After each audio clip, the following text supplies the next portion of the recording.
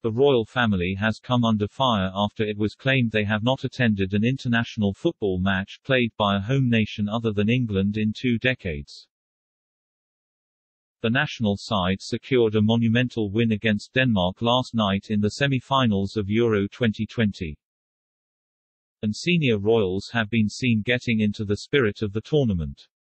Prince William celebrate Gareth Southgate's historic 2-0 win over Germany at Wembley and even the future king has got involved following the Three Lions 4-0 thrashing of Ukraine in the quarter-finals. Prince Charles invited the band of the Coldstream Guards to play an instrumental version of the classic Football's Coming Home song at his London home Clarence House. The Prince of Wales also requested Sweet Caroline, the 1969 hit by American songwriter Neil Diamond that is often heard belted out by English fans. But some have been left frustrated that the British royals have only attended England games. It came after the National claimed, no member of the royal family has attended a football game played by a home nation other than England this century. According to the court circular, probed by the Scottish daily newspaper.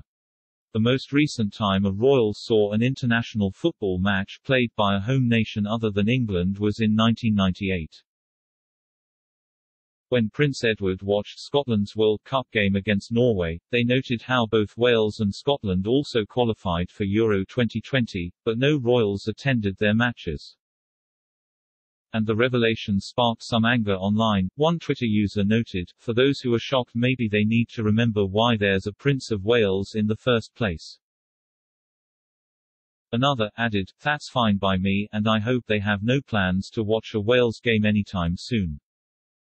A third claimed, nobody in Scotland wanted him to be there, and a fourth chipped in, says it all really, doesn't it? The same probably goes for most of the Westminster lot too. According to the National, the royal family decided not to comment on their story, but the court circular is the official record that lists the engagements carried out by the royal family of the UK. But others online pointed out that that Prince William is the president of the Football Association FA and has also been seen in the stands cheering on Wales in rugby as he is vice patron of the Welsh Rugby Union. He also previously sent a good luck message to the Welsh football players after they reached the semi-final of Euro 2016. William congratulated Wales for progressing much further than England did in what appeared to be a cheeky dig at the Three Lions. Before praising the team's togetherness, passion and sense of self-belief. Saying it was unmatched throughout the tournament. He added, Harry and I will be watching the game from home tonight, cheering you on.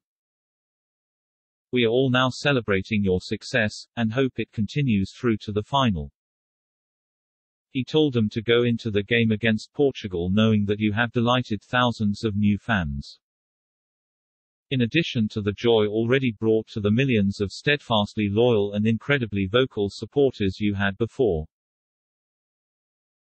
He finished with the motto Cymru am byth which translates as Wales forever.